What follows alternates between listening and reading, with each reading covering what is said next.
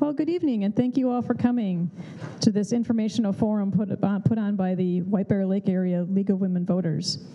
And it's called Minnesota Immigrants, the 2020 Census, and Fair Representation. My name is Liz Lauder, and I am the president of the League of Women Voters White Bear Lake Area. Uh, the League, um, as a nonpartisan organization, uh, we do not take a stand on candidates or political parties but we do um, take, uh, take a stand on issues um, that relate to uh, fair representation, such as uh, an accurate and fully funded uh, census. And the League um, strongly supports an accurate and fully funded census because it determines um, voting districts and it determines uh, how many representatives each state sends to the U.S. House of Representatives. It also um, um, uh, affects the amount of federal aid that is apportioned to uh, states and local communities for the next decade. Um, the U.S. Constitution uh, demands that we have a census every 10 years, and the, uh, this includes um, that it should be a count of all persons living in each state and this would include citizens and legal immigrants and non-citizens. Uh, however, uh, an attempt by the Trump administration to put a citizenship question on the 2020 census has been criticized uh, because it could discourage non-citizens from completing the census and thereby pro providing an inaccurate count of the number of persons in each state. And so uh, we wanted to know more about uh, the situation of immigrants living in Minnesota and um, how an undercount of the immigrants in Minnesota would affect us and them, of course, um, and then what steps we can take to ensure an accurate count of immigrants in Minnesota.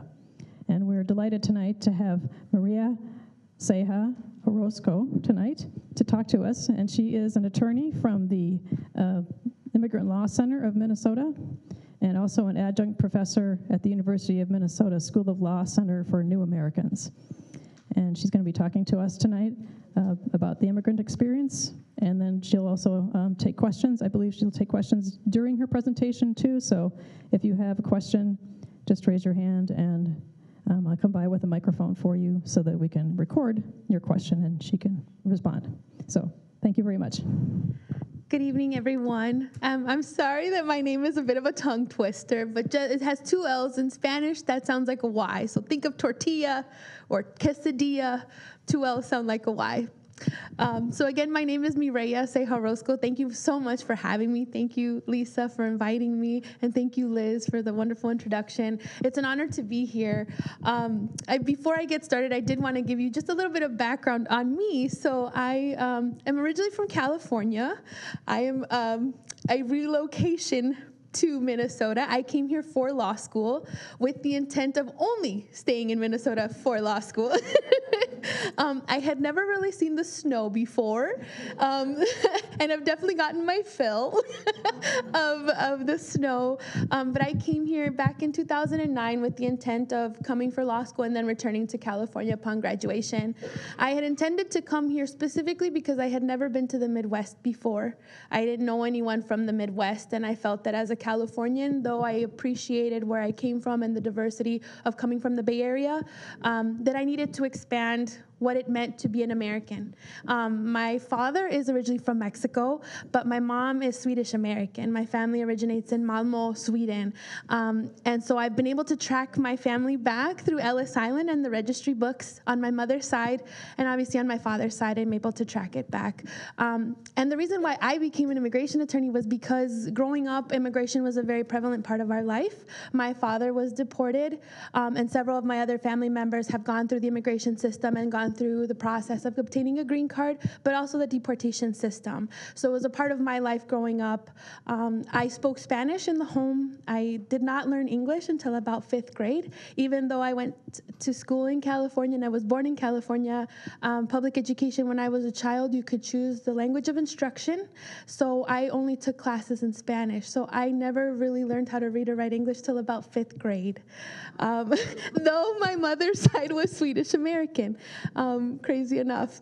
And so um, it was part of my learning experience and having to become the translator for the family, one of the only people in my family that had legal status. Um, that I, it was my responsibility as a very young person to serve as the interpreter, um, to be the person at parent teacher conferences for my cousins um, and my aunts and uncles, to serve as that liaison or as that person. And as a as a 10 year old as a 12 year old that's a very those are very big shoes to fill. Um, but they're shoes that i i now realize just how valuable they were to my experience, but also to the reason why I wanted to become an advocate for immigrants. Um, and being in Minnesota, I, I realized just the, the importance of having advocates in the community that were going to serve people that understood some of that experience.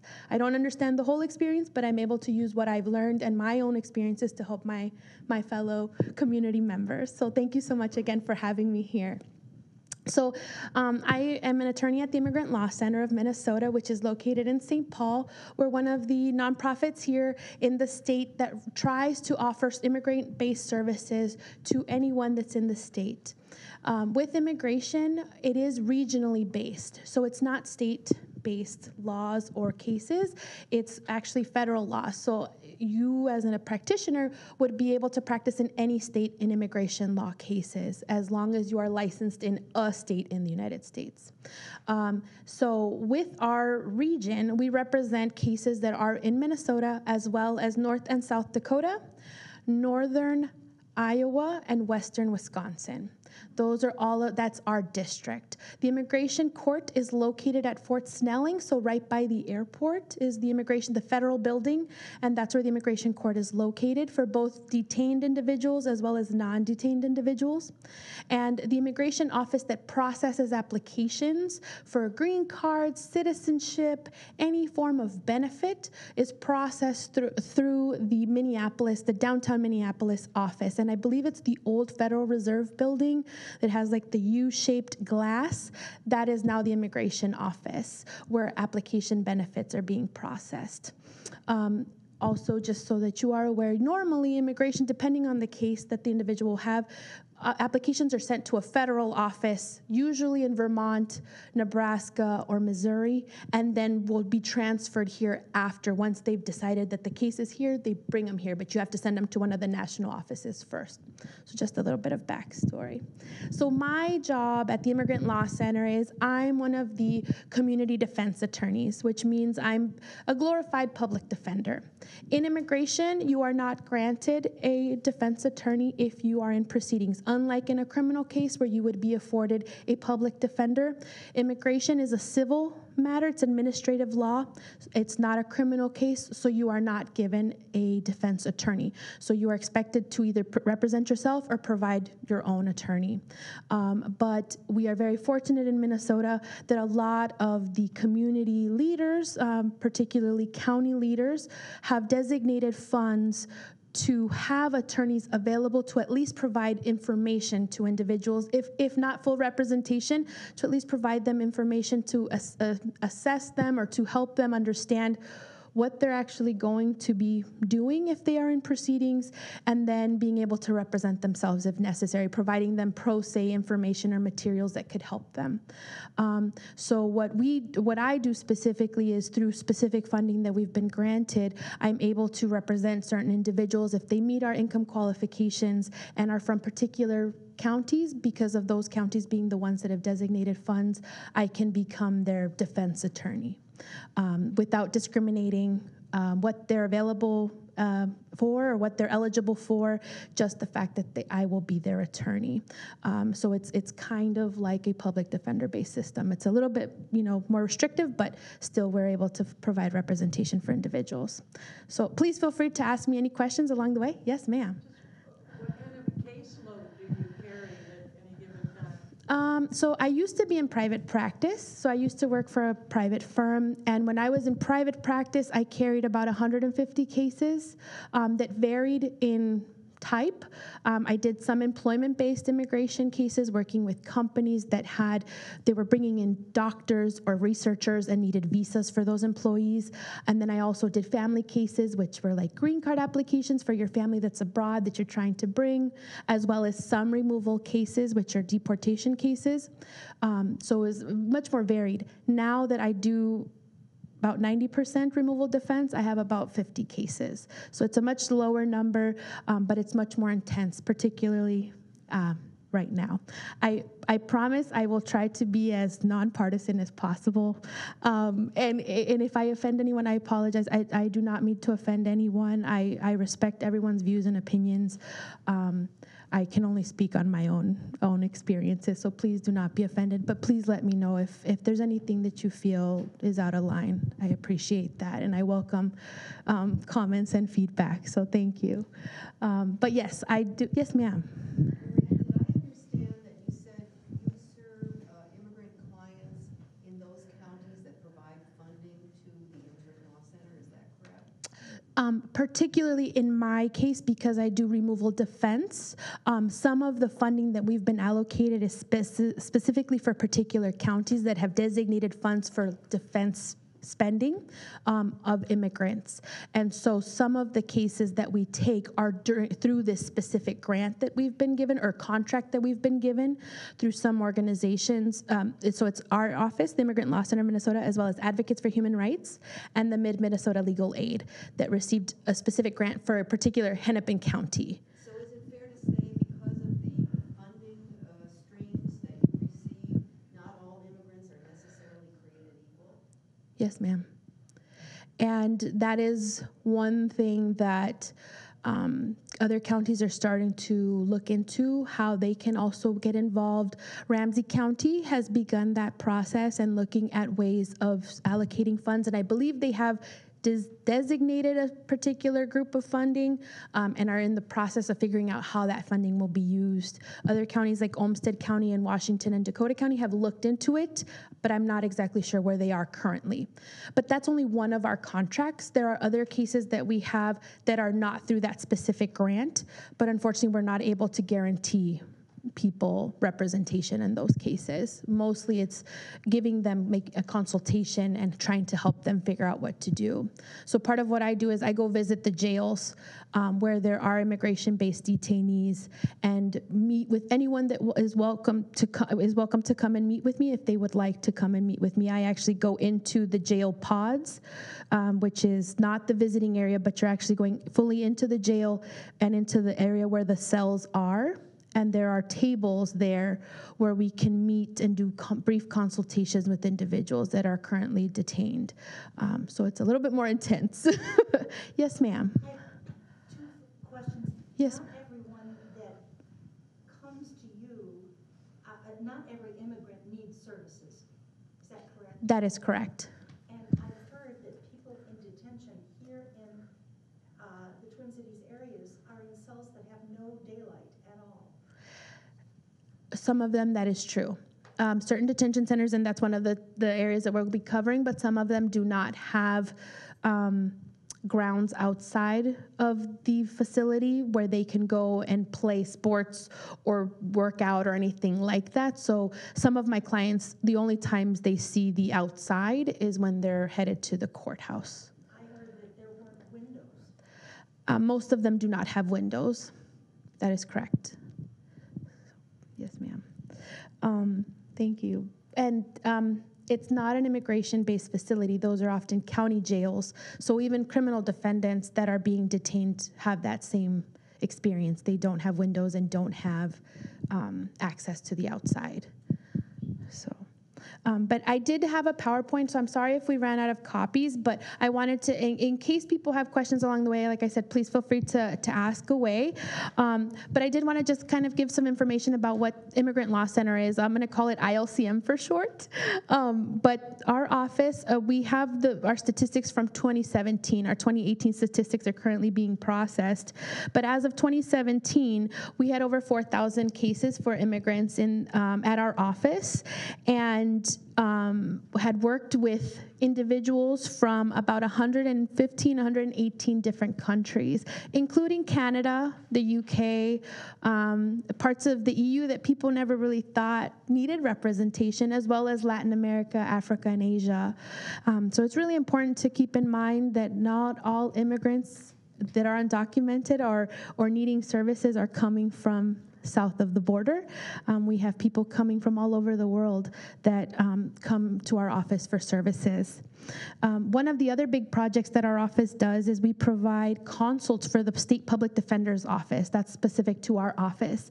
And that's under the uh, Supreme Court case that was called the Padilla case, which indicated that individuals that were going to be entering into any kind of a plea deal in a criminal matter, if it was determined that they were potentially going to be affected on the immigration side by taking that plea deal or agreement, that they needed to be advised of the possible consequences of doing that before taking a plea deal because they needed to understand that maybe what they were going to be doing was going to be way more harmful to them than they anticipated or realized, and that maybe was worth going to trial for.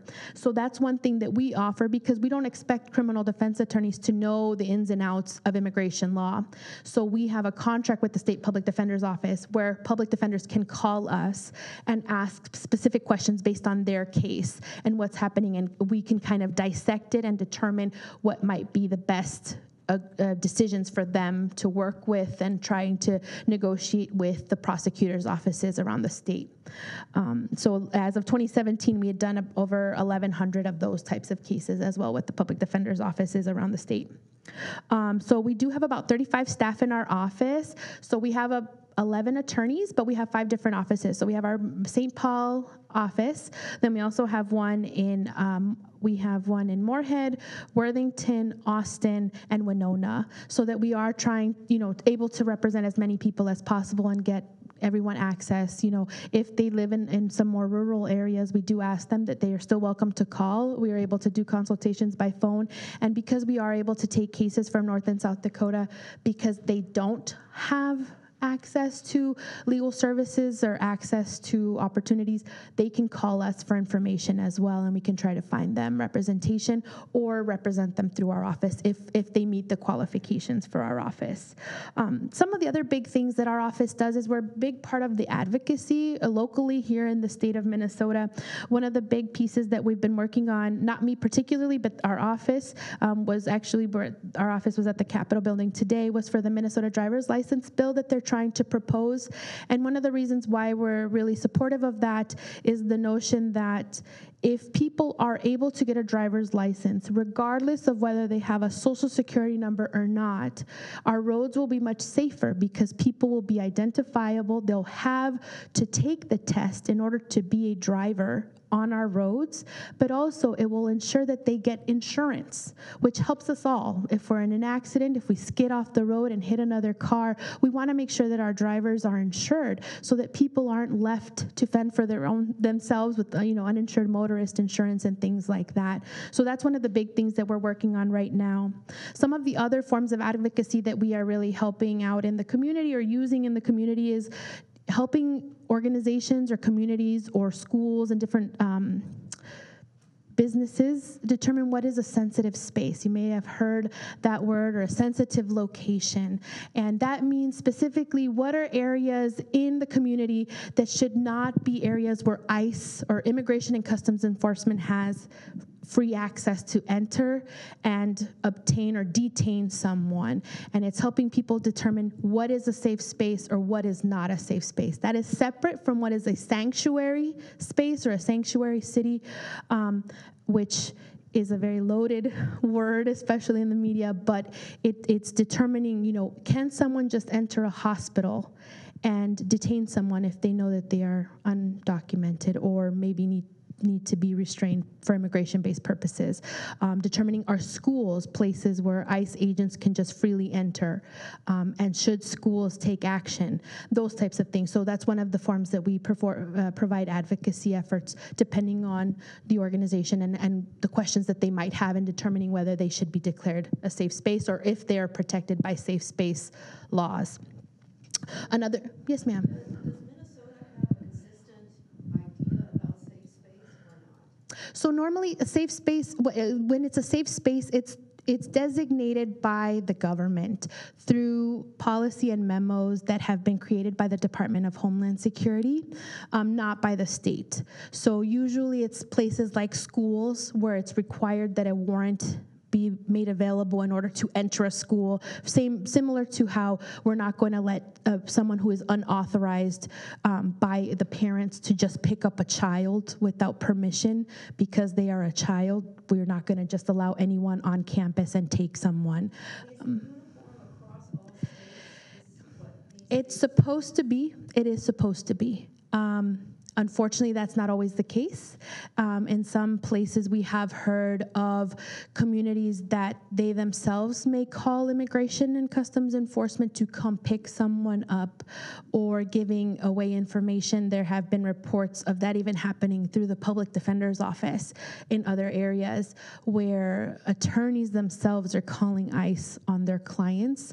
Um, I haven't heard that here particularly, but that is something that has happened, um, though it may not, it shouldn't be happening. Does that answer your question? Okay. One of the other big things that we've worked on is family preparedness plans. Um, and that basically is something that um, I had not really worried about doing until the 2016 elections, um, when there was a change in shift in policy and what was going to be considered a priority for detention and removal, um, where we wanted people to be safe and know that if they were detained for any reason, um, that they knew what was going to happen to their home, to their vehicle, to their children, who was going to have access to take their children to the doctor or take them to school or pick them up from school. Um, I, as a child, had that experience myself. Um, one uh, when I was living in California as a kid, my uh, parent, my my mom called me, and I was in high school at the time, but she told me, Mireya, you, you need to go pick up Mari from school, and Mari's my little cousin, and I said, well, that's weird. Why didn't my tios, my aunt and uncle go pick up Mari? They always pick up Mari. And my mom said, We don't know where they are, so you need to go get them. Or you need to go get her. And I didn't really understand what that meant, but I was like, okay, that's weird. So I went, and the school would not let me pick her up. They wouldn't let me pick her up because I wasn't an authorized person on her emergency contact, and neither was my mom.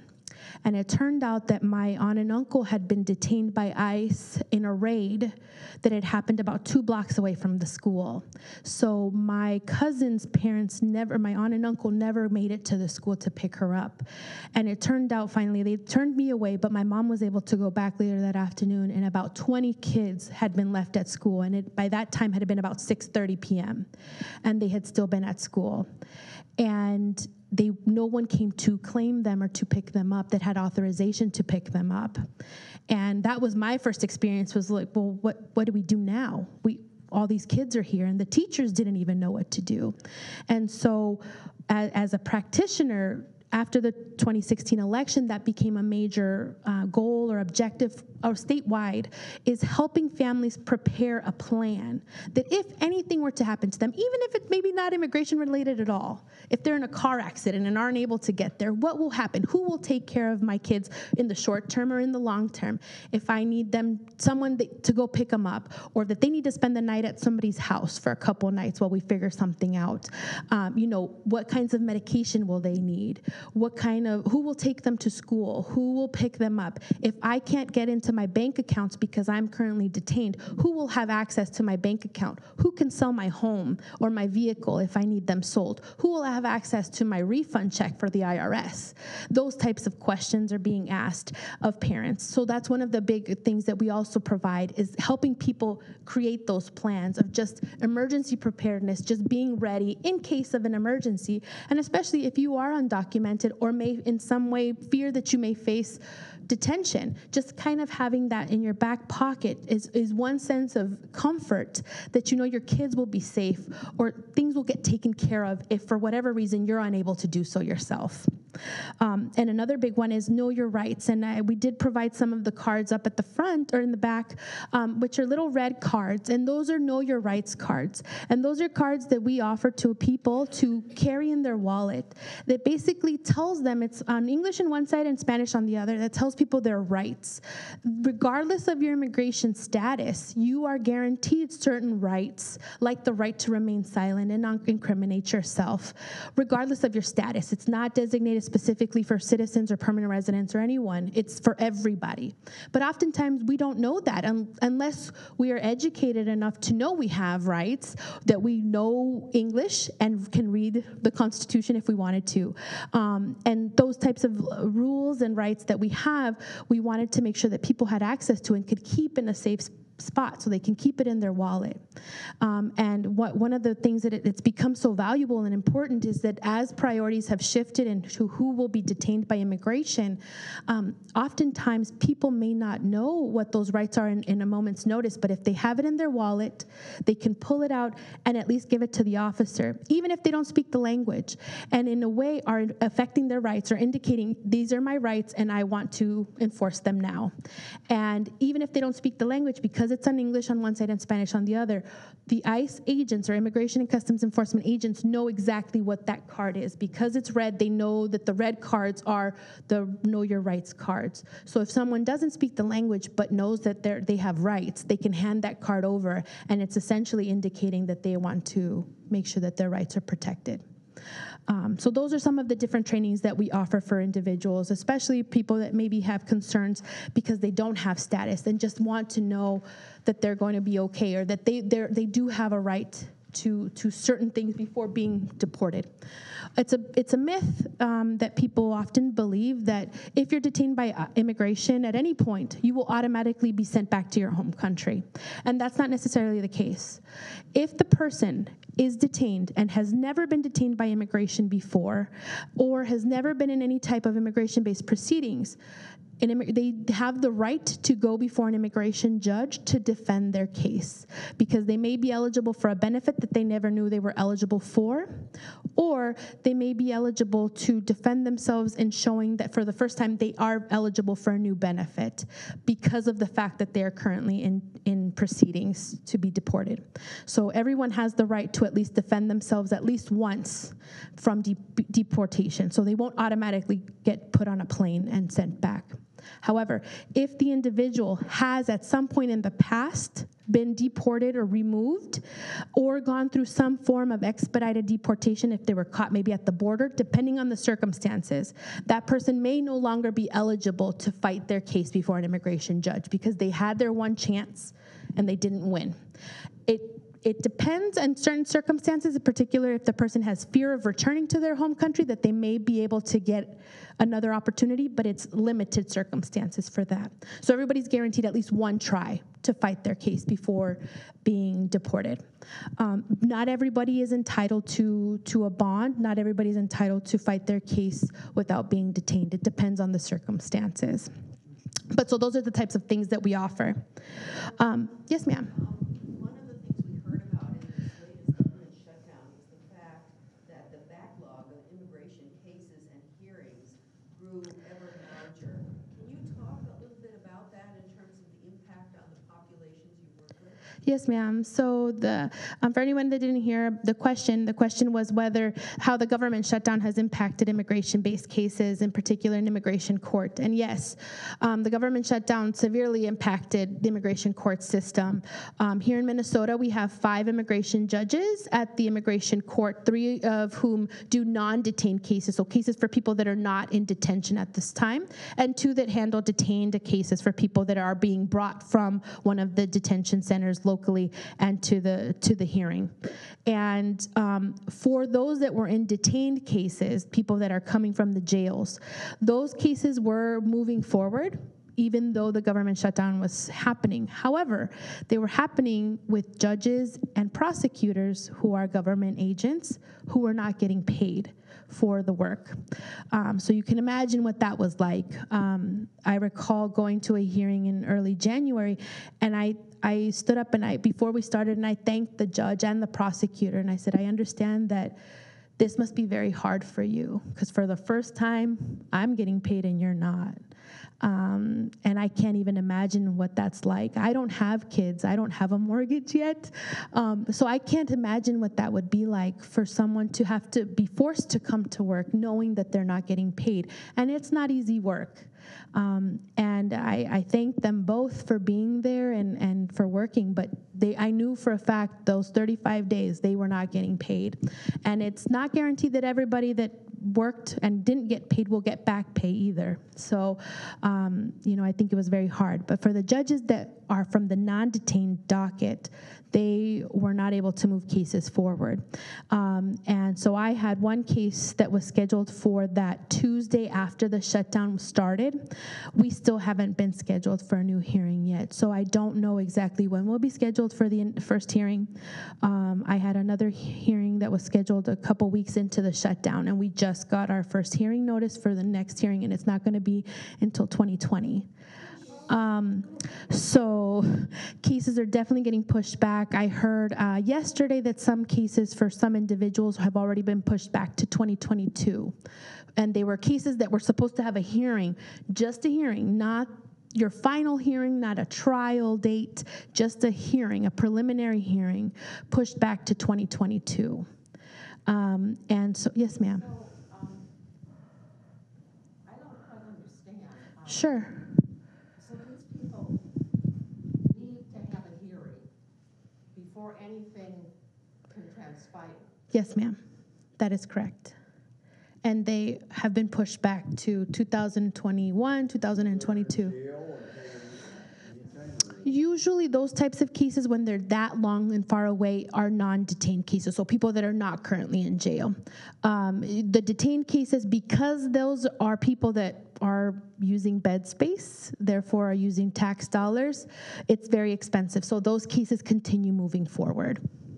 Yeah. Yes, ma'am. So what can people legally do in the interim? legally as in um, for their case S- it depends on the circumstances of their case and it depends on the facts in their case certain cases an individual that is waiting for a hearing is entitled to a work permit so that they can legally work get a social security card and a driver's license but not all cases so unfortunately if you don't qualify for a work permit you are essentially just waiting to find out what to do but are not allowed to work or not authorized to work legally in the United States while you're waiting. And if you leave or abscond or leave the country, you've since you've decided that you are going to abandon your case, um, and and will likely have a deportation order on your record that will prohibit you in the future if if you try to seek a benefit later on. So, and it's unfortunate, but yeah.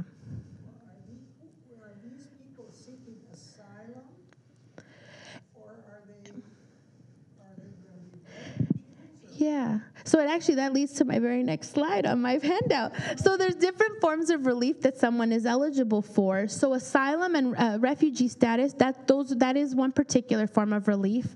For refugees, those are individuals that have been designated by the United Nations abroad that they will suffer persecution or harm and uh, if they remain in their country and so are brought to the united states or to another country that's going to offer them refuge um, so they are designated before they even come and have been screened before they come. Someone who is seeking asylum means that they were not designated in their home country or maybe did not face persecution yet, but now are going to face persecution if they go back. So can seek asylum status here. It's almost the same thing, except one is done here and the other has been done abroad and then are brought here. Um, but some of the other forms of relief that we see or, or, benefits that people can apply for and things that we offer at our office um, for people that are maybe going through immigration court proceedings, some of those benefits are asylum or ref, um, protection under the conventions against torture. So if we know that someone maybe is a um, some involved politically and who will be targeted in their home country because of their political opinion might qualify for protections for under the International Treaty of Conventions Against Torture um, because we know that they will be tortured or have been tortured in the past, or that country maybe has a history of violence and torturing uh, of people with that political background or experience or um, involvement. And so we're able to provide that kind of protection, and our office does handle those cases. I have a few of those cases myself. Um, some of the other types of cases that we will work on are bonds, people that want to seek bond and need to apply for a bond, so need to provide evidence to show that they qualify for a bond. So we do those as well. Um, and some of the other cases that we're going to start working on, that our office for the first time will have, are habeas petitions. Our habeas petition is a petition for someone who has been detained for an excessive period of time and because their case is still pending, it, we consider it unfair that they are still detained and should be able to wait outside um, because of the length of their case. And so our office is currently working on developing that program because we're going to have an attorney starting in a few months that's going to be specializing in those types of petitions. So is that a corpus? Yes, ma'am. Yeah. Some of the other areas of practice within our office that are not necessarily immigration court cases, but are forms of relief or benefits that people can apply for that our office handles are citizenship cases or naturalization cases when people are eligible to become a citizen in the United States. Our office handles those types of cases, um, as well as some humanitarian cases. Now, you may have heard of some of these. Uh, one is the VAWA type of petition, Violence Against Women Act petition. Um, is a specific petition for victims of crime where the uh, persecutor, the person causing the harm, perpetrator, is a U.S. citizen or permanent resident. We often see cases where someone may be using their status as a citizen or permanent resident as a form of domestic violence, as a form of enforcing control um, in a relationship. And so that's a specific type of humanitarian based case that we can file. We also do U visa petitions and T visa petitions petitions. U visa petitions are for victims of crime where they have made the report to law enforcement. Um, it has to qualify under certain guidelines, but where we are able to prove that they've cooperated with law enforcement in um, seeking justice on that and that crime, whether that be an assault, domestic violence, um, torture, you know, things like blackmail, stalking, those types of things. And T visas are designated for trafficking victims, um, particularly after uh, when the Super Bowl was here in Minnesota, we saw a spike in trafficking. Um, you often see a spike in trafficking cases wherever the Super Bowl is being held or large sporting events. Um, we've also seen a large number of trafficking cases in rural Minnesota, particularly um, in some of the agricultural um, industry locations where we're seeing people being trafficked to, to work at uh, processing, meat processing plants or dairy farms and things like that, where we see that there's that need, and so people are being um, tricked maybe into working um, or forced to work, um, and and so we're handling those cases within our office as well. Um, some of the other types of cases that you may have heard of are the the Dreamers, the DACA cases, and those are for young people that were maybe brought to the United States um, by their parents or by someone other than themselves deciding it. They were brought as children and are now living in the United States and all but a piece of paper deciding that they are citizens, but they don't actually have status.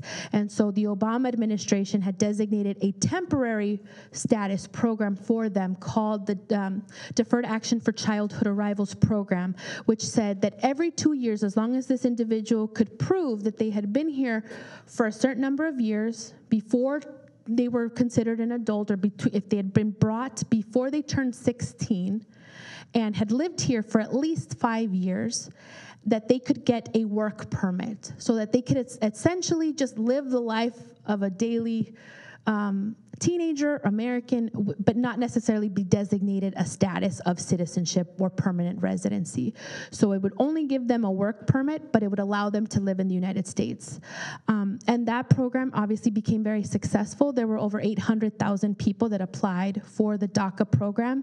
In Minnesota, we had about 7,000 um, that are considered DACA recipients. And so they are given a work permit, and with the work permit, are essentially then able to apply for a social security number and a driver's license.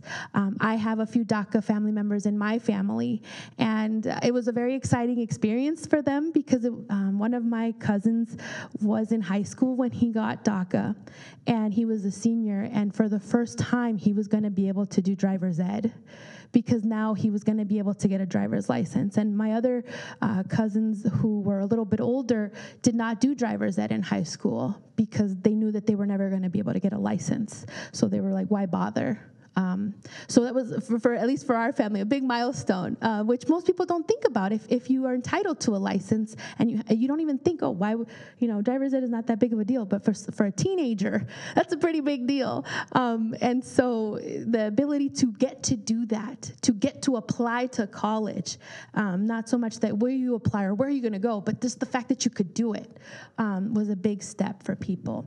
And so, yes, sir. Uh, What's the status of the DACA program right now? There was talk about part of a build a wall settlement to extend the DACA, but there's nothing in the latest. So as of right now, it is pending. Um, the Trump administration had indicated that they wanted to end the program. Essentially, um, had indicated that in September of 2017 that the program was going to be ended, so it was going to expire as of March 2018. Um, however, there were multiple states and jurisdictions that filed lawsuits indicating of the harm that that would actually cause to those communities and to those economies if that happened, because now you had 800,000 taxpayers. And if you all of a sudden take out 800,000 taxpayers, that's really going to harm a lot of economies. And so um, it was stopped, or there was a an injunction placed on it. So as of right now, there are they are not allowing new applicants to apply, though they may qualify and have met all the requirements. New applicants cannot apply, but people that have it now are still able to renew it because it's a two-year program. So every two years, you're expected to renew it, um, and until further notice, they are only accepting renewal applications for it.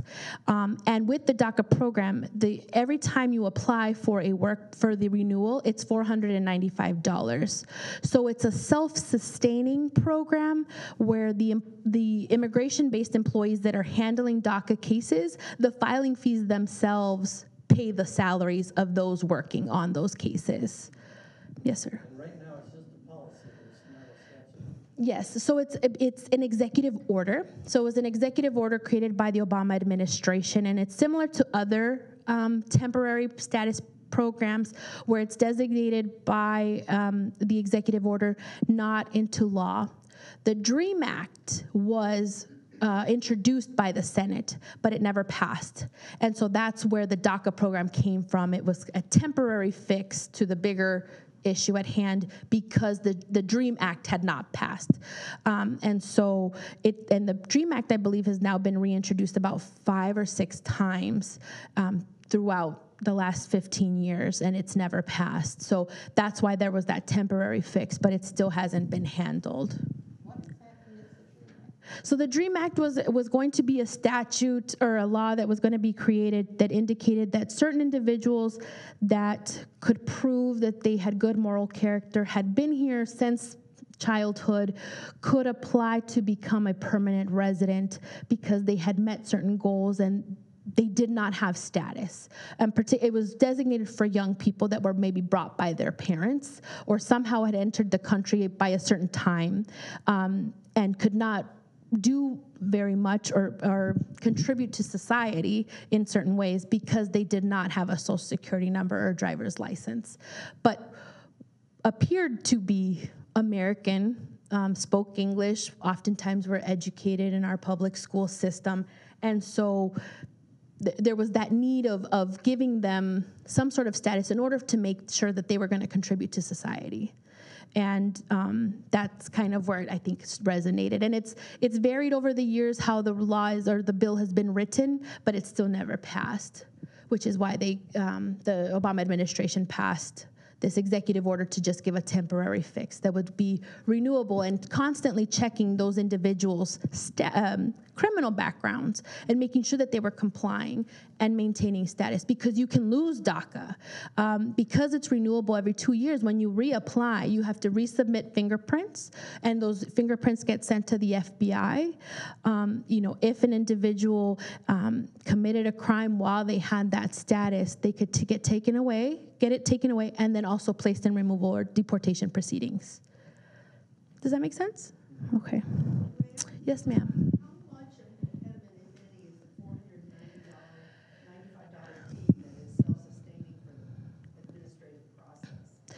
Um, I think it, it depends on the individual. Oftentimes, um, for some people, especially now they have a work permit, they're able to get a job and are able to pay that renewal fee.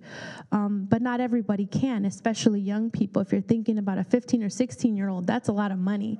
Um, and so, and you are not eligible for a fee waiver. There's no scholarships available for that. So individuals did have to come up with the money individually. Um, we actually, our office was. D- did a fundraiser and we gathered about almo- I think almost thirty-five thousand dollars to help pay filing fees for for kids that were going to be applying for DACA renewals. Um, I've heard of people, at least when I was in private practice, that their church or their school or somebody was doing fundraisers to get the kids some of that money um, because it's also important to note that a renewal and a replacement of DACA still costs $495. So if you were working with a 17 year old who lost their wallet and their work permit happened to be in there, they would have to pay $495 just to get a new card. So they, it's not the same as a license. It's maybe an eight dollars replacement fee or twenty dollars. They had to pay the four ninety five again um, to get a new card. Yes, ma'am. Cost the fee to become a citizen. So the fee to become a citizen, uh, I believe it's still six hundred and eighty dollars to become to apply for a citizenship application. Um, that's an N four hundred application, and it takes about a year to process a citizenship application because they do extensive background checks. Um, they do um, Interpol, they do the FBI, CIA. There's a bunch of international checks that are done on an individual. You have to provide proof that you've done paid your income taxes. Um, and essentially have complied with numerous rules before you're able to actually even obtain citizenship status because citizenship is the greatest thing you can get in immigration's eyes. So it's going to be the most protected. Um, which is also very important for people to know is that if you, as an immigrant or non citizen, ever claim to be a US citizen when you are in fact not, you are forever barring yourself from ever becoming a citizen. You will never be able to become a citizen if you have declared that you are a citizen at some point. And so, for people that may be working with false documents, if they are working with those of an actual person who is a citizen or have indicated on their I 9 that they are a citizen, they are forever barred from ever applying for immigration benefits which is very painful when they realize that they will never be able to apply. There's no waiver for that because citizenship is protected so heavily. Um, so, for some people, that that's life threatening or damaging because they will never be able to get a green card or become a citizen. Was there another question? I'm sorry. Yes, sir. Uh, Regarding asylum, what we hear on the news is there are these caravans coming with all these illegals. Yes, sir. If you cross at a port of entry and ask for asylum, do you consider that person to be illegal? Me personally, I mean, the law, does the law consider that to be illegal? you're considered undocumented. Um, you're not supposed to be considered illegal because you're requesting admission at the border based on asylum. And oftentimes you are what's called paroled in. So you're given permission saying, yes, we understand you're seeking asylum. Here's, we're giving you an ID number, also known as an alien number, an A number and you will be scheduled for a hearing or interview or something along those lines. There is a misunderstanding of what that means now, especially in the media where they don't use the proper terminology um, and are saying these, these are illegals. But a lot of those people that are entering at the port of entry seeking asylum should not be determined illegal because they were granted permission to enter pending a decision on their particular case. But oftentimes are still called illegals. One other thing that we hear is, uh, people should wait in line.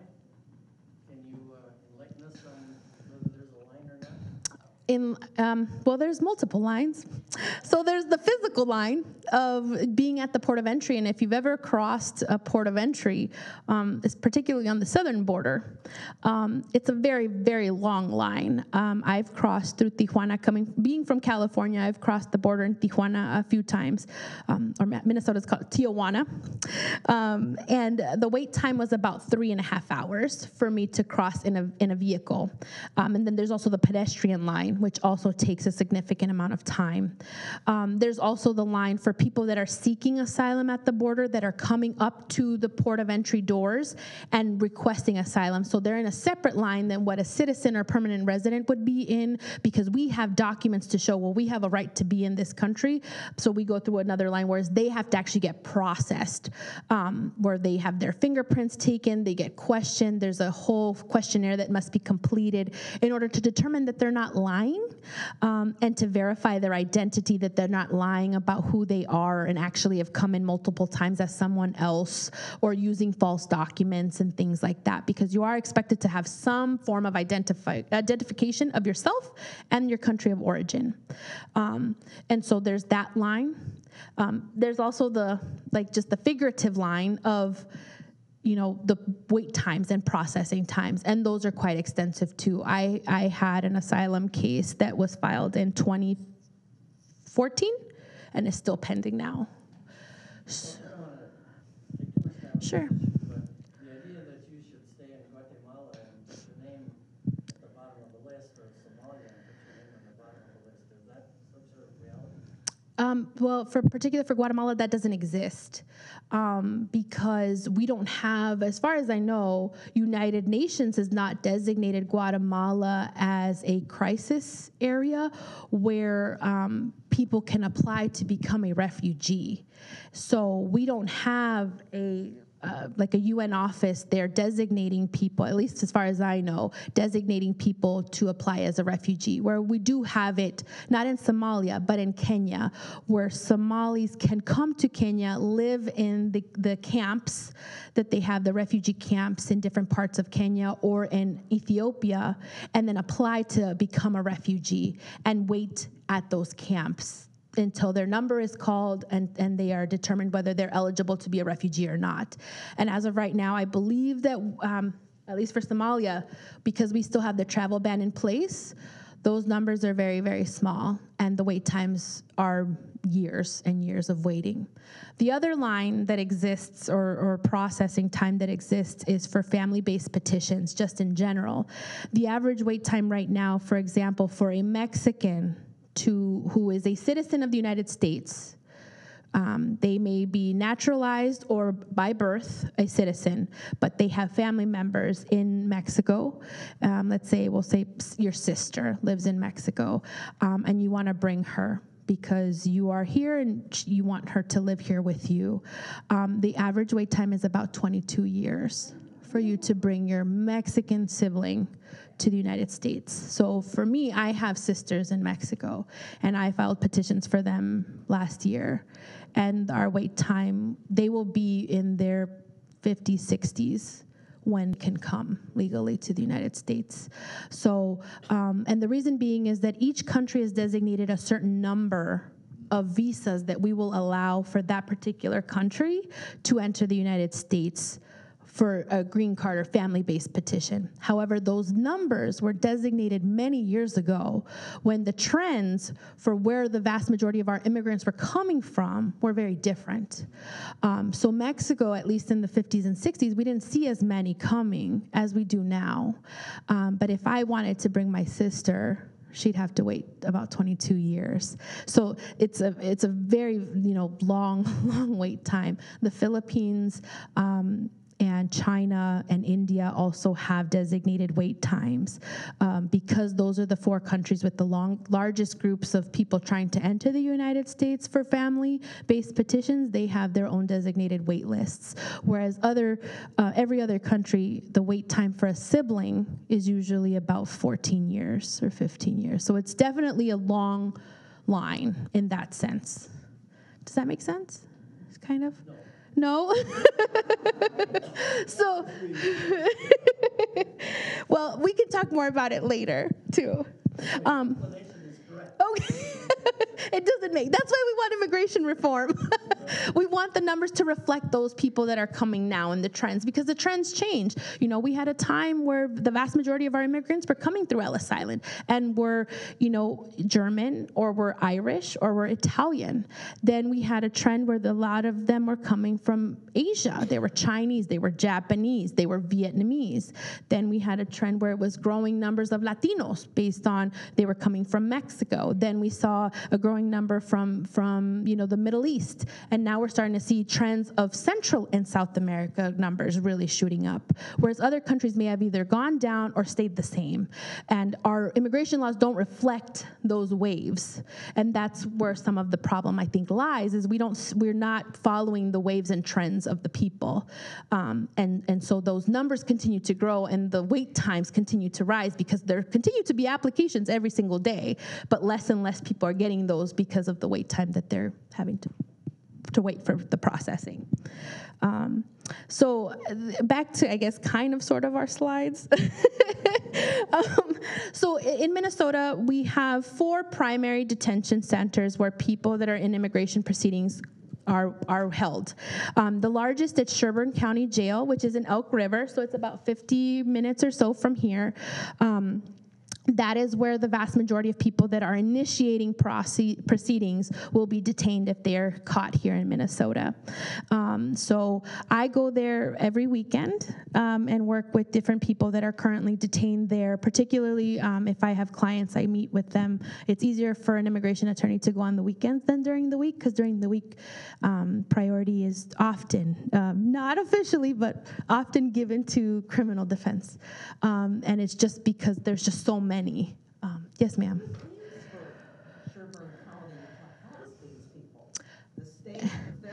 The federal? Government, so uh, Department of Homeland Security, um, I so the, that's a good question. So the Department of Homeland Security handles ICE, which is Immigration Customs Enforcement, enforcement and removal operations, which is ERO. So those are the agents that are often coming to people's homes and detaining them, and also uh, handles TSA and Border Patrol. So that's through the Department of Homeland Security.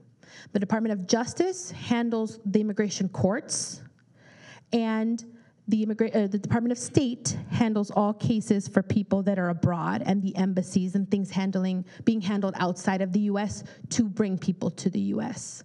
Um, but so for the jails, ICE, uh, Immigration and Customs Enforcement, uh, Enforcement, does contracts with particular facilities in order to rent beds.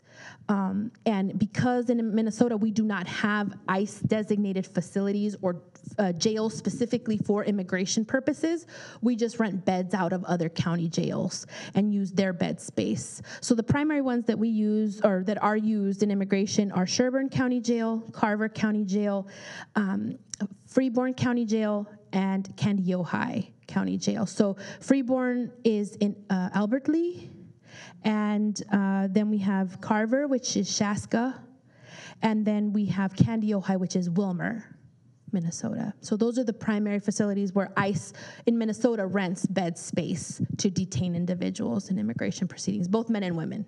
Is that because like meatpacking plants would have lots of? I think it, there is some strategy to why they pick certain places. Um, I don't know the exact reason why those were the designated ones. I think Sherburne, in particular, is one of the larger county facilities, um, who also has contracts with the U.S. Marshal's Office. So there are federal detention, like criminals, in those facilities, um, as well as county-based criminal uh, defendants that are being detained for numerous reasons, um, and then the ICE detain- detention facility people. So actually they make money on these people, right? Yes, ma'am. Um, there are also private privatizing is a big thing. Privatizing jails is a, a big industry, um, and especially I've represented cases out of Louisiana and Georgia, and all the facilities that I've gone to in those states are private uh, jails, and so they're making money. It's a where they have a board of trustees and things like that, and so it's it's, it's incentive in a way to those organizations maybe to detain people. Yeah. Yes, ma'am. Difference between the public and private jails? Um, yes. um, I think uh, for the purposes, I think for of, of immigration-based cases, um, I think it's hard to say because it depends on the facility individually. Um, I think at least when they're in the county facilities, you have someone to hold accountable um, in a very different way because it's the county. You know, you're you you there's access where if it's a private company, there's very little that they have to give as far as information or services at the facility um, and access. It's it's very different when it's a private company and it's a county. Um, so in, in that sense, we may be fortunate that we are the contracts are with county uh, jails. So there are certain rules that apply to immigration-based detainees that will apply to any criminal um, or detainee at that facility. Um, because again, most immigration detainees are it's a civil matter it's not a criminal based matter but they are detained in facilities where there are criminal defendants or detainees being held there too.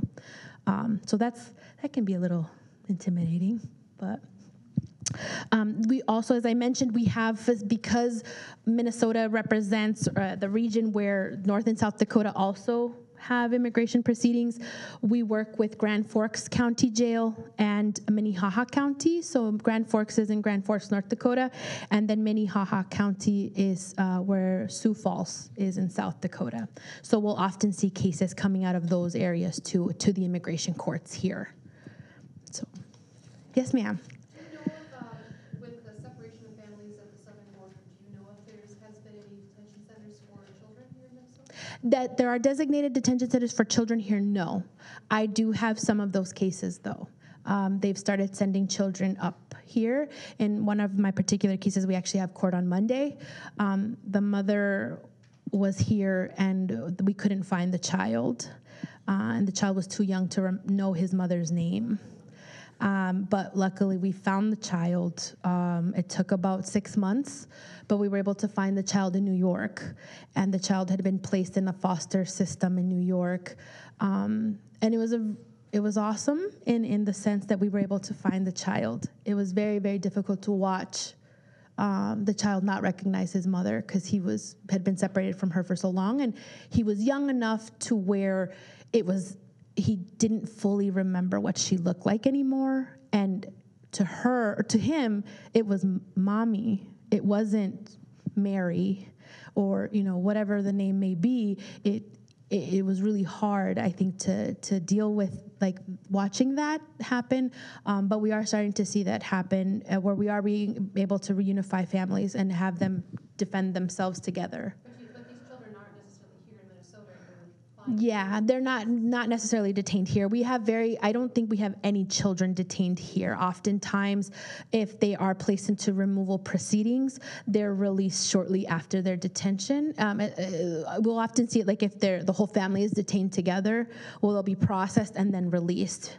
Um, I I don't know that we have any kids currently being detained in facilities. Do the states have any say whether they have these placed here? I think that there is some some um, state involvement in the contracts. There was discussion of ICE having an immigration-based facility here in Minnesota, somewhere they hadn't designated where, um, and there was pushback on it, and so they ended up canceling the idea. Um, so that could happen in the future if the state wanted to open up a private facility or a county wanted to offer bed space for immigration only or for children included or families that are being detained. Um, but the larger facilities are currently on the southern border and some of the um, bigger states on the coasts. We'll see those. Yes. So those private detention centers, like private prisons, there's a great mode of, you know, profit motive there. Yes. So Oh, yes. it's- It's a profit. It's a very profitable So industry. that's one big difference between like the county. Oh, yes. Very much. There's an incentive to detention And they did in those. Yes, in Minnesota. Yep, exactly. Because I believe that the ICE specific facility that they were looking to build um, was going to be private. Uh huh. Yeah. So we there was pushback by the state in that case. Yeah. Um, so some of the things that we've already kind of talked about, but we talked about the government shutdown and the backlogs that it's caused. Also, it, it caused a lot of number, a large number of issues with Border Patrol and TSA. Um, both obviously, if, if you were watching the news or had traveled at all, there were very few workers getting paid those days. So you might have had a very easy time um, getting through the airport. I went, I had to travel quite a bit during the government shutdown, and um, I was never asked to take off my shoes. I was never asked to pull my laptop out of my bag, which normally I do. Now I have um, global entry, which is a TSA pre-check thing, so I don't have to go through that process. But I was never asked to pull anything out, and I had actually traveled abroad, and on the way back no one on our flight of 250 plus people was asked any questions by Border Patrol. We all just walked through, and I couldn't believe it. And I was coming through Houston. Um, so I expected us to be waiting a long time, thinking that each one of us was going to get checked by the one or two agents working, when in fact, none of the 250 people on my flight were asked any questions. Um, so we saw that there was obviously people not not that they didn't care, but they weren't getting paid. So there was no incentive for them to perform the functions of their job. There was also a report in the news about a gentleman, I think he left out of Atlanta airport and made it all the way to Tokyo with a gun in his bag, in his um, carry on, and no one noticed. And it was very likely because the agents here local, or the agents at the airport in the United States, hadn't processed it. But when he got up to Tokyo, they checked his bag and they were like, "What? How did this gun get here?" Um, so there are definitely security-based concerns, which that is a big concern now, which is why there are claims that the wall is so necessary. Yet the government shutdown still happened. But that is I that is my personal opinion. um, I digress. Yes, ma'am. I have a question about the government shutdown, too, as far as just processing delays. Yeah. I've had a number of friends and family over the last few decades who have fallen out of status, not of no fault of their own. Maybe they were on a student visa or a worker visa, but because of delays in processing, all of a sudden, what would have been a standard renewal, eighteen months had passed, and now they had fallen out of status because their applications were not processed in a timely manner. So I'm wondering if this shutdown created even more folks who are out of status at no fault of their own, but because of inefficiencies of having a shutdown? Yes and no. According to reports, USCIS, which is the immigration based office that handles applications for benefits, were supposedly not impacted by the government shutdown because the fees that they create through the application process um, were supposed to be used to pay the employees. However, in practice, we know that that's not necessarily the case. If, for example, you had someone who needed to get a background check by the FBI, but the agents handling the FBI background checks were impacted by the government shutdown and weren't able to work. So now, this person's case, though the immigration office can handle it, the next step in the process could not be handled because their office was sh- the shutdown for the purposes of doing the background check. So it in in indirectly affected cases, and we know that that's the case. We also know that with the shift in priorities generally, um, with the focus being on deportation and removal, that a lot of effort has been put into getting people out. and taking longer time and processing and, and focusing more money on that side than actually processing applications. So it's mo- both of those things. But yes, the government shutdown indirectly has impacted a large number of cases because maybe processing was slower, there were less people on hand. Um, the holidays always tend to be a slower time um, just because people are going on vacation, time, people are taking time off, things like that. Um, and also, more people are spending money on other things than immigration thing, you know, pen applications. But we saw that there was a drastic change during that shutdown, though technically it wasn't immigration that was shut down for that particular type of case. Does that make sense? Okay. Any other questions? So one of the other big things, and I know we, we talked about where we're going to get to the census, but we can, I can, I promise we'll get to the census. But one of the just the quick things that I wanted to make sure that we mentioned was the travel ban. So the travel ban is still in effect. Um, a lot of it's no longer in the media, so a lot of people have forgotten that it exists, but it is still in effect for particular countries um, that um, prevent people from coming into the, the United States if they are from one of the seven countries listed: Somalia, Yemen, Libya. Venezuela, North Korea, uh, Chad. No, is Chad? Maybe Chad. I, now I don't even remember. But yes. Yes, I think yes, I think you're correct. Um, but those countries are still being impacted by the the travel ban. Um, so essentially, if you have a family member or petition from from someone that's from one of those countries, they will still be impacted and potentially unable to come to the United States. So I have multiple Somali-based clients who um, have approved applications to come, but because of the travel ban, they are essentially in limbo, waiting, um, and we'll be waiting until further. Yes, ma'am. And what- and what are our largest immigration populations here in Minnesota? In Minnesota, our largest communities are definitely Mexican, um, uh, Somali, Hmong, and we have a really large uh, Ecuadorian and now Central American base. Um, ma'am? A Liber- yes, a very large Liberian community as well. Our largest for sure is Mexico. Uh, we have a Mexican consulate here in Minnesota because of how large it is. It's actually located in St. Paul. Um, and then we have a very large Hmong and Somali community because Minnesota was designated as the point of refuge for a lot of those refugees coming into the United States. And I believe Minnesota has the largest Somali population in the whole country outside of Somalia. Yeah, I think out- I think Kenya might have the United States beat, but yeah, it's one of the. Which, like you say, is now affected by this travel. Yes, ma'am. Unfortunately, a lot of our clients that are of Somali um, heritage or culture are impacted by that um, travel ban. Um, the other thing that's really, really important to keep in mind it, it is the crisis at the southern border. We are starting to, you know, see that people are, you know, when they do apply for asylum, um, they are being detained in facilities at the border and then often transferred to other facilities to make bed space at the border. So we're starting to see at the detention centers here locally a large number of people that tried to enter legally into the United States seeking asylum but have actually never been outside of a detention center because at the time that they entered were apprehended or they turned themselves in essentially and are now waiting to process their application all while detained. So we have a large number of of Cuban uh, individuals who have been seeking asylum in different parts along the border and when I talked to a couple of them, they said, you know, I, I don't know what I did wrong, and I feel like a criminal when I just I tried to enter legally, and I didn't realize that I was going to be detained for six months.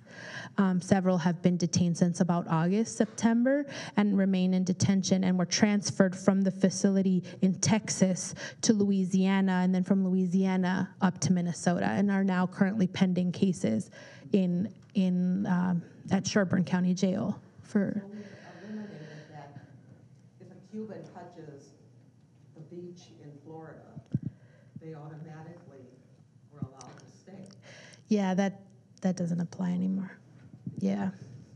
So we we I think have I I, I want to say there's 15 a group of about 15 Cubans that are currently detained at Sherburne County Jail. That are people that all tried to enter legally. They weren't caught at the border trying to cross illegally or using false documents. They they went to the port of entry and said, "I'm Cuban and I'm seeking asylum." Mhm. So, All right, now let's talk about the 2020 census. If there are any other questions or if anybody has any other questions, please feel free. I know this is somewhat d- difficult and it's not the, the you know nicest conversation to have, but I'm honestly I welcome any questions or, or things that you have. Yes, please. I want it. Well, so we've heard in the news that perhaps maybe in other states, naturalized citizens, I mean, immigrants who've been naturalized have become citizens. Now their citizenships may be being revoked because of minor crimes. Are you seeing that at all, or is that just not really true? So there's discussion that people may be able to get their citizenship revoked. Um, or because they are naturalized, they are not born citizens, that they could get that taken away or that that would be called into question when that should not be the case.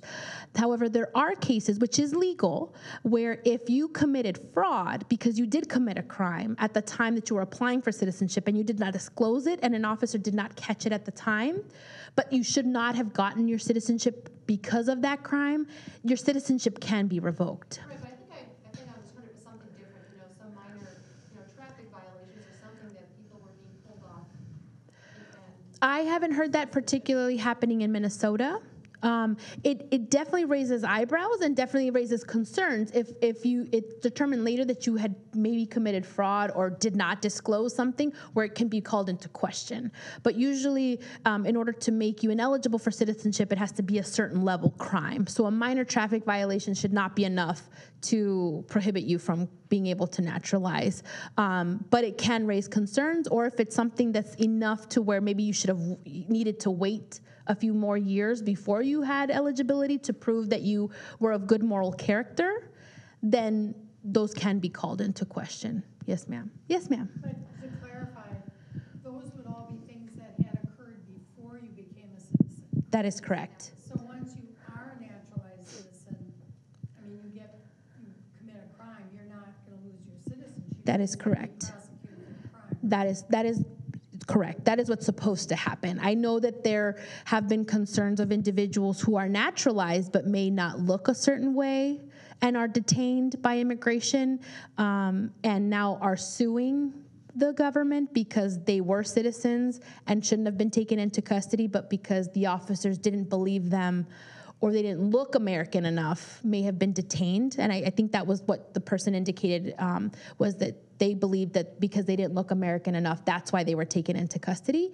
Um, but yes, essentially, you would be treated maybe for the criminal act, but after that, you shouldn't be touched like any of us. Where where if we've committed an act that requires that we be in a federal penitentiary for a certain number of years, okay, so be it. But then upon exiting that facility, we would continue to be able to reside in the United States. Granted, we might have you know other issues to deal with, but but yes, you're still a, you're still a citizen.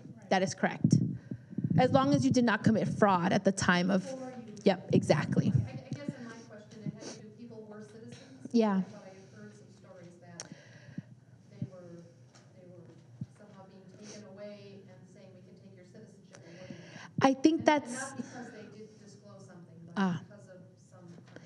I know that there's been cases of people getting detained because they were verifying their claim that they were in fact a citizen, but then told they had to be released. I know that there was a case of someone who actually had been deported and had to be brought back because they were a U.S. citizen, and I know they filed a lawsuit against the federal government.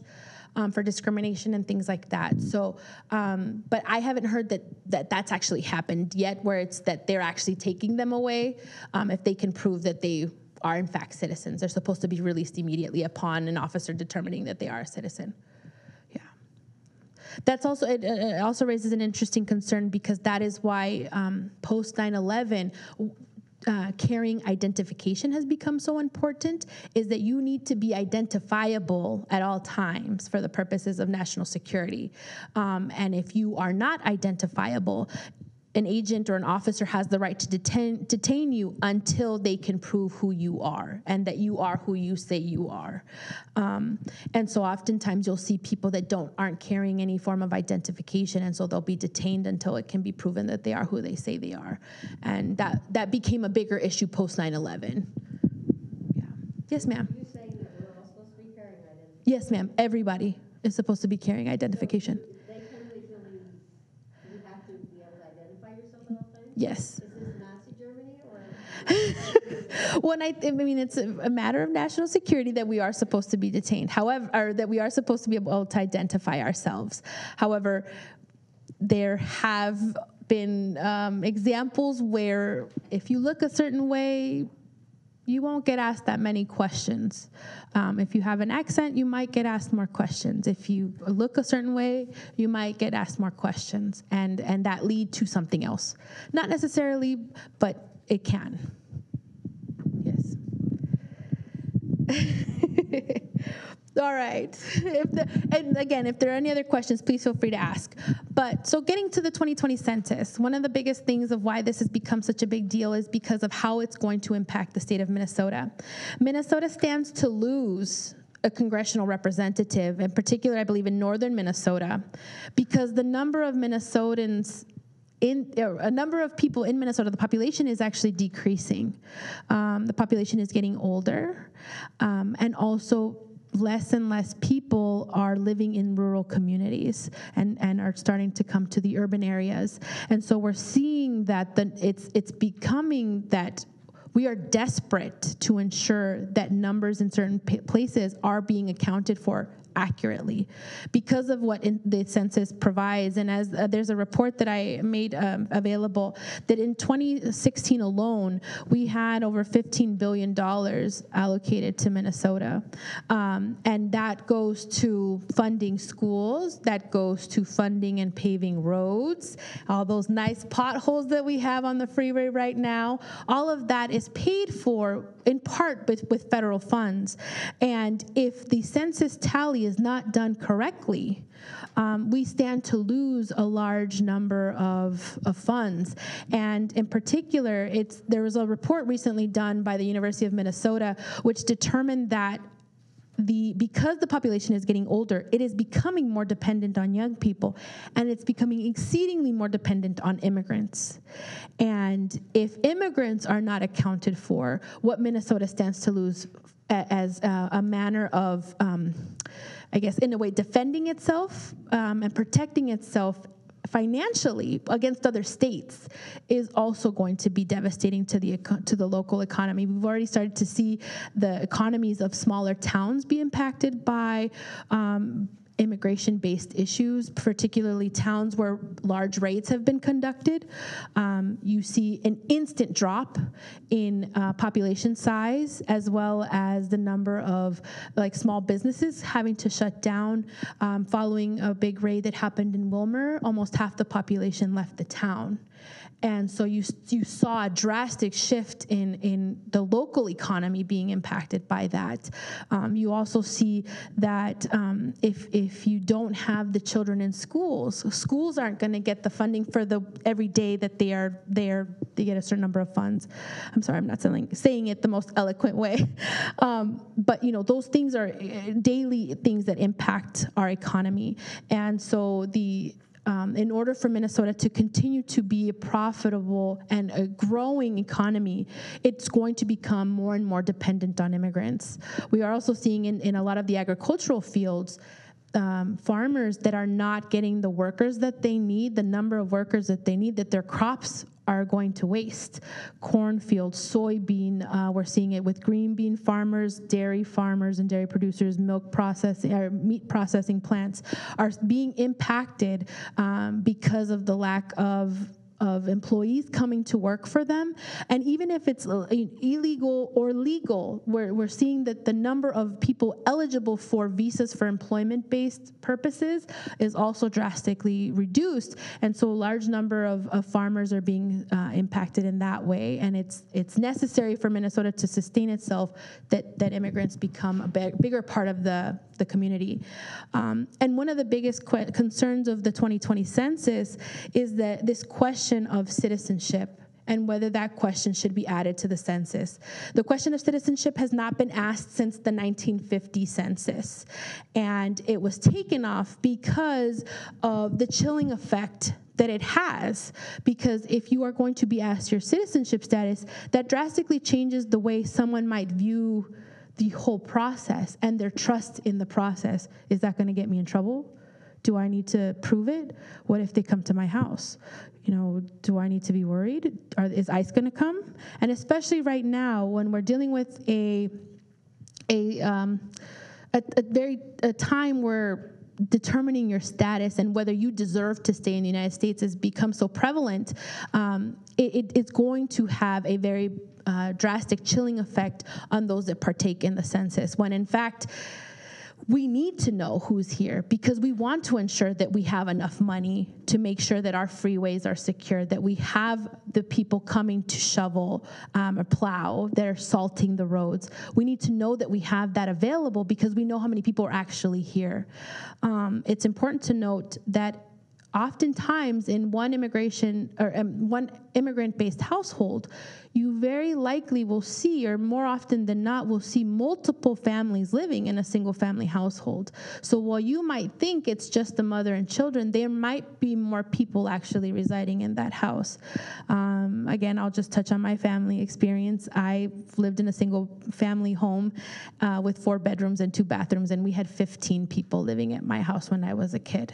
Um, and so there were five of us in a room, and we figured it out you know and so that's very common but if if you're dealing with a very um, fearful community they're not going to want to claim all 15 people, but we want those people claimed, not because we care necessarily about their immigration status, but we need to know because I want to make sure my road is clear. I want to make sure that my school has the funds in order to provide an education for my children or for my neighbors' children because I don't have any. You know, that kind of thing. That's why it's become so important. Um, and the, the question of citizenship we've you know i've actually met with the state demographer's office and that has been something that we've kind of started talking about is how is this going to affect minnesota if people are going to be fearful of this question? Um, and one of the things that they had mentioned to me is that this year or next year will be the first time that the census will be offered electronically and so people can fill out the census questions online. And so the, the, the person at the state office kind of said, Isn't that great? Because now people won't have to worry about coming to, that someone's gonna come to your home. You'll get to do it online and not worry about it. And I said, Yeah, but that's assuming that the person has internet and has a computer at home. And that's also assuming that it, they speak and read English. But if you're talking about an immigrant family, maybe the kids speak English, maybe they read English, but you can't assume that they do, and you can't assume that they have internet access. Oftentimes, you'll see, especially in, in other in homes that are um, immigrant homes, they might not have internet or computer at home. They have it at school, so the kids may have access or through their phones, but not necessarily a home-based computer. Um, and what they had mentioned to me is they said that uh, 80%, I believe, of the 2020 census will be done electronically. Then random 20% of people will be getting it by phone or by mail. And um, so that's great, but also which 20% and which homes you can't de- you can't designate oh well all of these people have a Latino sounding last name, so therefore they should get it by mail. No, it's going to be at random. Um, and so you're, it, it will necess- it might impact how the census is done. But if the census is not completed ele- electronically, if someone gets it electronically, then the home visits will start. And as I previously mentioned, there's a growing number of people fearful of ICE coming to their door. And if you see a person come to your door that you do not know, and they knock on your door, and you are fearful because you don't know who they are and what they want, the likelihood of you opening the door is very limited. And according to the state office, they will be making six home visits to try to get that information from you.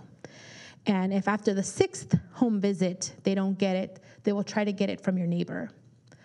But if you think about it, if you're fearful of an ICE agent coming to your door. And they're going to make six visits, you're like, wow, these, these officers are really determined. And they won't open the door. And so you still aren't going to get that information when in fact it's an innocent application or something that's happening without the intent of, of causing the person harm. Um, and so it's something that we, we did in a roundtable. We just kind of discussed, you know, these are all the possible factors that could affect someone, especially if we want to encourage people to participate that might not necessarily come to our mind because we have no fear, or, you know, maybe we do. You know, we are also in a time where people there are people out there trying to cause harm for no reason and are you going to open the door yes exactly exactly. And so it's like if you don't know who it is are you going to open the door? Exactly. So with that train of thought, I'm thinking of seniors, yeah. Uh, who, you know, I'm familiar with working with the yep.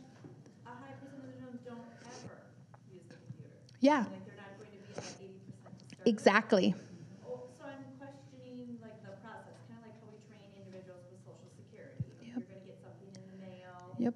No one's ever gonna call you on the phone. Will there be, do you know enough about the process to know, would there be, if they're gonna come to your door, are they gonna send you a letter first saying we will be coming to your door? I'm not exactly sure. I think that's still being decided because the the actual census has not yet been printed. The the printing will start in June of this year, um, and so once they start printing it, I think then they will determine how it's going to be distributed. But yes, essentially anyone who does not have easy access to the internet. I know like my most of my my my mom and my dad like they never use the computer. I'm always like even though I live in Minnesota and they live in California, they call me. Like how do I do this again, you know? And and so I can imagine what anyone that that doesn't have that easy access is going is going to struggle. And so the numbers are not going to be yeah. Is not gonna represent, there will be people taking advantage Oh, yes. of the process, someone's coming to your door. Yep. Very likely. Might be coming to your door saying, is saying they're someone or census worker, and and um, that's uh, that's actually a very good point, and I might actually bring that up to the demographer's office because I don't know that they they're still kind of in the works of it, but they met with us just last week for that reason because they were specifically asking immigration-based issues because I think they're asking a lot of different communities kind of to figure out what to do because it's going to be an electronic-based census this time for the first time ever. But that's a very good point that we didn't necessarily touch on, but I want to make sure that they they know of. There's a lot of, um, the trends with social security, Yep. uh, what's the word, there are people that are taking advantage. Yeah. The fraud thing, a lot of the fraud cases. Yeah. No, that's a very good point. Thank you for raising that issue because that is a big concern for, for all of our community. We want to make sure that everybody's accounted for, but because they're kind of changing the way it's going to be done in hopes that I think that they wanted it to be more quick and easier and whatever, but it's not as easy as that. Mireya, I'm sorry, but uh, we're almost out of time. Oh, okay. I'm Uh, sorry. No, it's okay. It's, this is a fascinating talk. And uh, did you want to have a couple things that you can wrap up, or Sure. we can uh, you can stay a little bit later and people can ask you more questions? Definitely. Okay. Yes, sir. Just one quick question. If they put the citizenship question on, do you have to answer it? Yes, and that's actually one of the points I was just going to say um, that I found out because there I kind of thought, well, I can just tell people if I work with someone that's going to do the census, I can just tell them, well, don't answer that question and leave it blank. But I've been informed now that if you don't answer all of the questions, your census will not be counted towards the and so it's a big concern that that's why they come so many times to visit you and try to get that information or try to obtain it from your neighbors or people in the surrounding homes that might know you or know who's in that home because they want to have it completely filled out because that's the only way it can be tallied or added to the tally is if it's completely filled out. Um, which is why it's a big problem because you might be pushing people away from answering it. Maria, I think it's really important to remember that there is no remedy under the US Census for undercounting. It's one and done. So if the under, if undercounting occurs, there is no remedy for ten years. Yeah, and it is supposed to remain confidential. However, we're still trying to determine if there is a way that information could be subpoenaed if required. Um, normally, that information is completely blocked or kept from the IRS, from ICE, and things like that. However, now that we do have a administration that really cares about deportation and removal, could that information then be subpoenaed if you're trying to find out a particular home or a particular household and the status or what they marked on there? And like I said about the citizenship question, if you ever declare to be a citizen, can that question be used to determine that you are now ineligible for immigration benefits? We don't know that particular. Yes, ma'am. Well, the only comment that I was gonna make is that the, the rationale that's given for that question is in terms of determining when someone votes fraudulently, which, which has been stated that that's not a very efficient way to do it anyway. Yeah. But my thought was, well, if that's the case, they would, someone would have to be tracking your answer and then your voting. Yep. I mean, It's obvious that there's gonna be some kind of record tracking Yeah, exactly. by individual. Yep. And also, it doesn't always take into account that you also have to count children in the census. You have to account for everyone in the household, not just adults. And you might make an, make, make make a mistake and say there's four voting or there's four people that are citizens in the home. But only one of them is a voting a voting age, so you know it it, it yeah it raises a lot of flags as to the purpose. Yes, ma'am. The electronic um, switchover to have most of it electronic Uh-huh. or digital, is that just a Minnesota thing or is that a national thing? I think it's nationwide, but I only spoke with the state-based office because they're the ones handling it for Minnesota, and that's what they said, like how they were breaking it up. And I think each state is allowed to kind of do it as they saw best fit their state. So, So I see your last slide there, can you tell us what we can do? yes.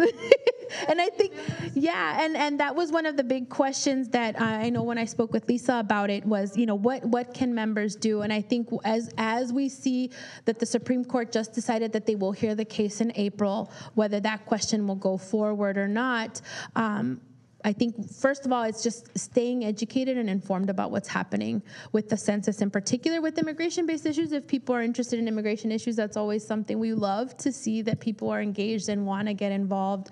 Um, but with the census in particular, you know, staying informed as to what's happening. Again, the census is supposed to be printed in June, so a decision by the Supreme Court has to come down before the census is printed because my understanding is that once it's printed, even if the Supreme Court de- decides on it, but the census has already been printed, they can't ask it for this census. They might be able to ask it for the 2030 census, but not the 2020 census.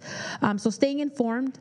I know that the the um, state offices are going to start reaching out, and I informed them that I was doing this presentation, so they might be reaching out to your chapter in particular about volunteering and getting involved and in helping people understand what the census is, um, and then also working with a lot of the immigrant or vulnerable communities to educate people and inform them that it's not scary. It's we're not trying to track you. We just need the information because we need to provide funding, um, and so that'll become more and more useful as the year progresses and and going into 2020. Um, but I know that I, I think in uh, early next year is when they're going to start hiring people to actually work as the home visit people and working with um, providing question and answer sessions and presentations and things like that that especially for an organization such as yours i think it would be very very useful to have people present um, and and getting involved and for people to see that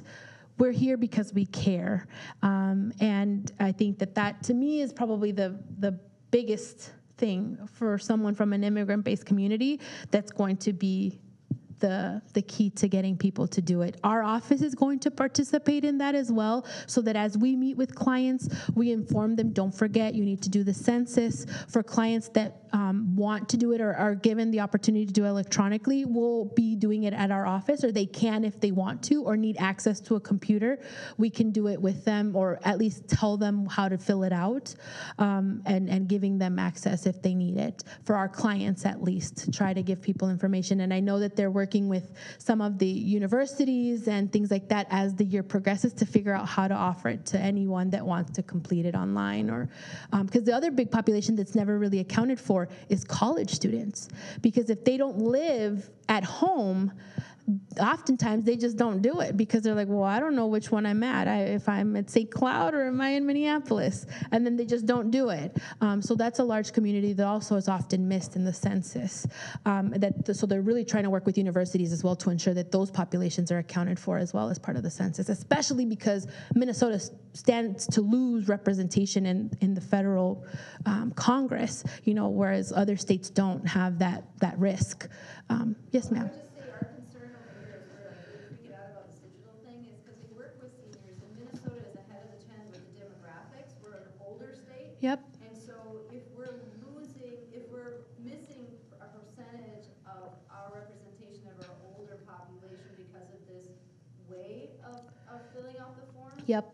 then that could be a huge hit for us disproportionate to other states. Yep, exactly. Oh, yes, definitely. And I know that that was something that they were going, that they were meeting, not with us, because they met with the immigration attorney separately, but that was something that they were going to start working on too with, with, because of the aging population and who has access to the internet and where, um, that they were going to try to figure out alternative ways to getting that information, because they are for sure going electronic.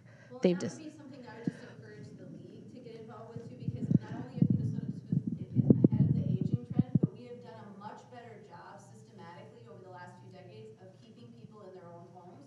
And so the idea of, of people being in their own single-family homes rather than being able to be counted in a housing community per se. Yeah. Um, I mean, again, there's a number of reasons why this could disproportionately affect us. yeah, that's a really good.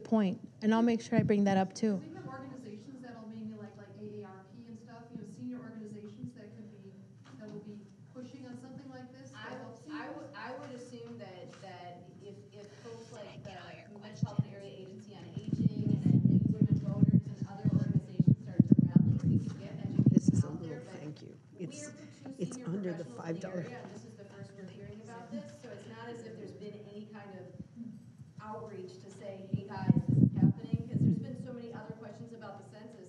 I think they're behind in their normal communications about standard things like digital versus paper. Yeah. So I think we're all gonna be a little behind in this.